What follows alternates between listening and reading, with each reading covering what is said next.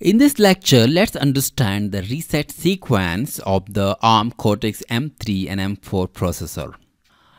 It will answer the question what happens when you reset the processor. Remember, the addressable memory space of the processor always starts from 0.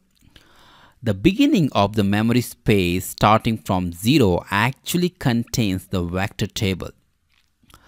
Vector table is nothing but a table of information about the initial stack pointer value and uh, various exception handler addresses. We will talk a lot about vector tables and its contents in the later videos to come. So don't worry about the vector table as of now.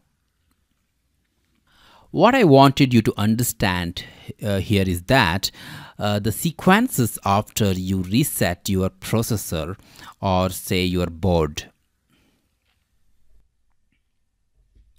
After reset, PC is loaded with address 0. Then the processor fetches the value at 0 into the MSP, that is main stack pointer. That's how your main stack pointer gets initialized. So processor basically first initializes the main stack pointer. So the question is who puts the valid value into the location uh, 0? Yes, it's the programmer's responsibility to put the valid value at the location 0, basically taken care by your startup code of the microcontroller. Next, the processor read the address of the reset handler from the memory location 4 into the program counter. So it is very important to store the address of your reset handler in the memory location 4. Then the processor jumps to your reset handler and start executing the first instruction which you wrote there. If you are wondering what's the reset handler, let me explain to you. Reset handler is nothing but a normal function written in assembly or C language which you want to get called whenever processor resets.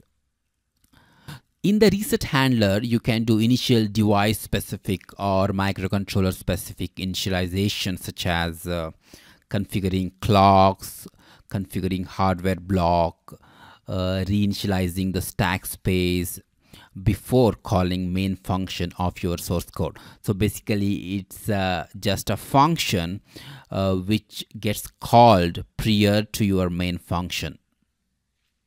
After the required initializations you can then call your main function from the reset handler. That's how the control comes to your main function in your source code I hope you understood the reset sequence of the processor Thanks for watching. See you in the next video.